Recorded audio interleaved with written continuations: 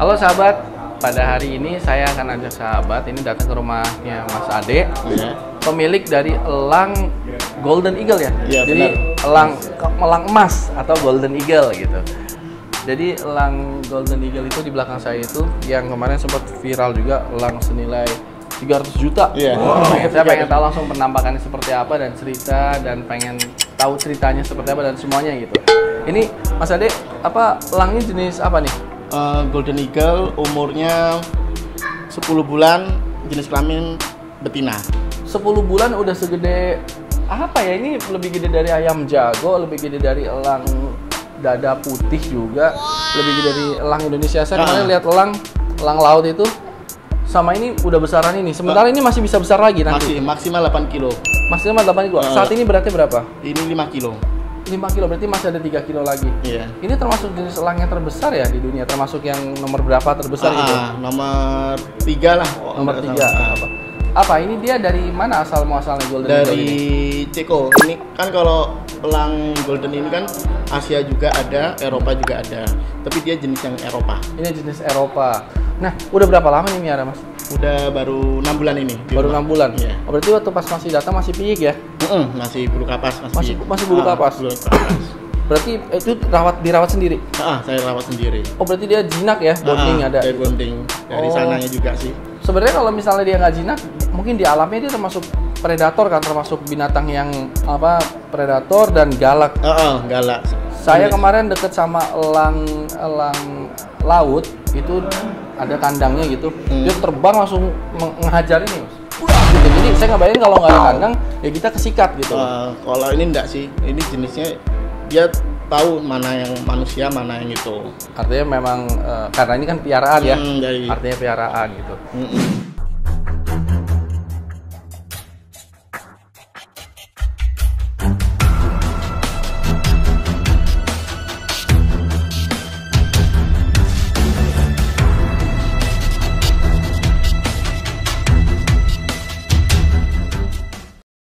Makanannya apa dia nih? Kalau saat ini musim panas marmut. Musim panas marmut. Terus Tapi kalau masih musim hujan saya kasih puyuh. kasih puyuh. Ya. Dia makan itu seperti ditelen atau dia maksudnya telan bulat-bulat ya Hmm. atau dia diambilin eh, dagingnya aja dan Di tulangnya dagingi, dicapi-capi semua sih. Capi-capi sama semua. tulangnya juga. sama tulang tapi dia Ah. kalau bulu nggak makan Enggak.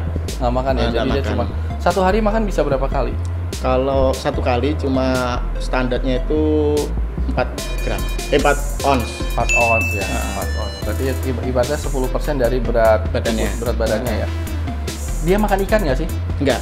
dia nggak makan ikan Daging.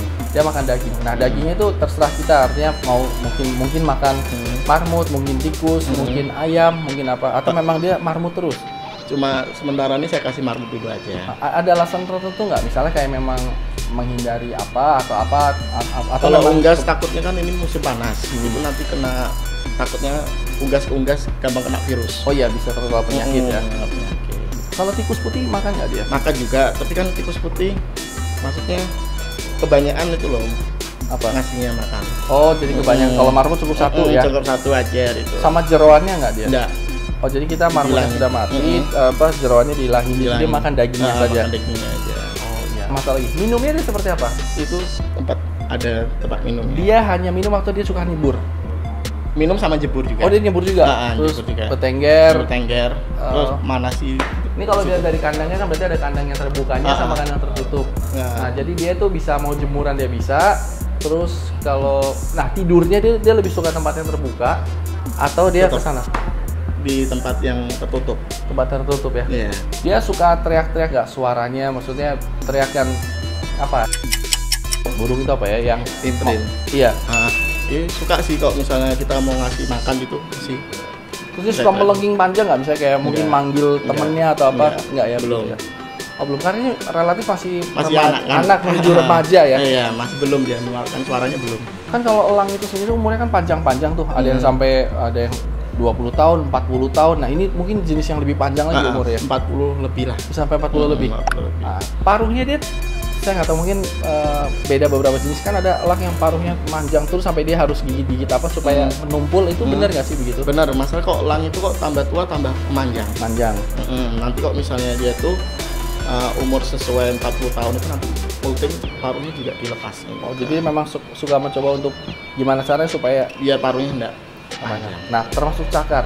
Cakar ini kan elang kan memang cakar elang itu kekuatannya Hmm. di cakar. Berarti kita kalau handle biasanya pakai glove gitu. uh, glove. Pakai glove Uh, sama apa?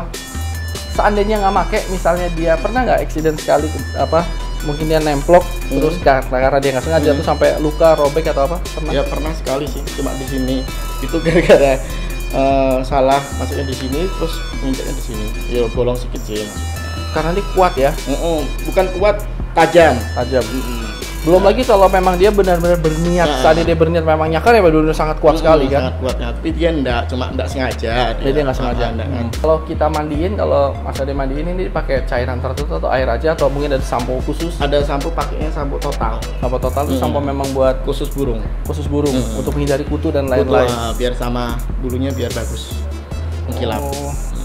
Terus proses pelatihan ini dilatih tertentu nggak ada latihan khusus atau ada kayak ada misalnya fly to me atau free flight kalau kalau dari elang khusus yang golden eagle ini apa? Ya CTTF, ATTF sama FF sama juga sih. Oh. Eh, itu pakai peluit atau apa? Kalau saya enggak pakai sih, standar aja. standar aja paling dipanggil namanya Ah, ya panggil. dia mengenali wajah kita Ah, sebagai mm. pemiliknya Iya, jadi kalau misalnya saya kok mau ngasih makan itu langsung dia bertengkar di sana langsung. Udah tahu. Udah tahu sih.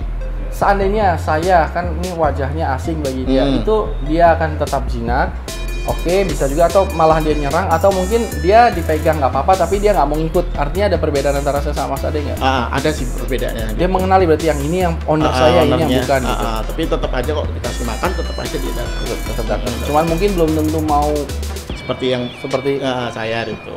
oh oke ada komunitasnya nggak sih pemilik elang untuk yang khusus golden eagle di Indonesia misalnya Kok. Komunitasnya belum ada sih? Belum ada ya? Belum ada. kan karena ini betina kan mungkin suatu hari kan perlu ada jantan Ah, juga kan. Siapa tahu bisa besanan kan. Ah, ah, bisa telah sa- kerjasama lah maksudnya gitu bisa tahu nanti ada yang itu juga. Mulai umur berapa dia kira-kira masuk fase dewasa secara uh, kematangan secara seksual? Dua setengah tahun. Dua setengah tahun. Dua setengah tahun dia, apakah nanti dia akan ganti bulu menjadi warnanya beda atau gimana? Ganti bulu warna beda ini kan coklat. Nanti Hmm. dia multing ke coklat ke hitam hitaman banyak hitamnya. Lebih banyak hitamnya? Hmm, lebih banyak hitam. Oh iya standar kandang. Mm-mm. kandangnya memang ada standar khususnya nggak? Terbuat dari apa dan ukurannya berapa? Ada Hmm. standar kalau ini standar ukuran untuk breeding Ini untuk breeding Nah, 7 kali 5 tingginya 4 meter. Hmm. tapi kalau misalnya untuk di handle itu cuma 3 kali 4 aja udah cukup. Tiga kali empat. Tapi dia kadang-kadang perlu kita ajak latihan. Ah, latihan di luar gitu. Latihan di luar. Ah, seandainya segini ada pasangannya dia sudah mau ya? Udah mau. untuk breeding. Udah untuk breeding. Mm-mm. tujuh. Sananya 5 saya lima. atasnya 4 ya tentu kalau lebih besar pun lebih nggak apa-apa Ah, kan? nggak apa-apa, masalah. masalah. kan itu sama kawatnya nih. Saya kalau piara misalnya burung paruh bengkok ini mungkin nggak bisa nih. Ah. karena kan di, Digigit di- ya. kalau dia nggak ya? Enggak cuma dia kan cuma gimana? Namanya dia dari menetas sampai ini cuma di kandang terus. Artinya dia paling eh, dia kan memang paruhnya nggak akan Ah, ah, nggak. bisa matahin kawat Ah, nggak ya? nggak beda sama paruh Ah, bengkok kan? bengkok. paling dia mungkin terbang cuman misalnya nyemper di sini sambil Ah, cuma di bawah gini aja sih. Cuma main-main aja sih ya. Seandainya ada burung lain yang satu kandang sama dia, kemungkinan besar pasti akan diserang ya, karena dia Diserang. predator ya. Ah, predator Ya, jadi sahabat begitulah kira-kira eh, penanganan atau proses piara golden eagle ini. Memang yang namanya binatang dengan kekuatan besar seperti ini memang harus hati-hati, tetap safety-nya tetap harus terjaga dan jangan sampai juga eh, si elang ini merasa terancam dan akhirnya jadi stres kan, Ah. harus jaga moodnya gitu. Nah ini kalau ada sahabat yang ingin cari tahu lebih lanjut mengenai golden eagle ini atau mungkin ada yang berniat untuk apa mengadopsinya nanti bisa langsung sama Mas Ade. Kira-kira mau hubungi Mas Ade ke mana? Instagram atau ke WhatsApp ke langsung? WhatsApp langsung Berapa nomornya Mas Ade? 085 641 11 10 10 Ya bisa langsung ke sini aja. Hubungi Mas Ade ada di Semarang posisinya. Oke, terima kasih banyak Mas Ade sudah meluangkan waktu. Ya. Juga namanya siapa tadi? Podo. Podo, terima kasih Podo udah mau diliput di Jaga. Oke, salam sampai ketemu. bright side.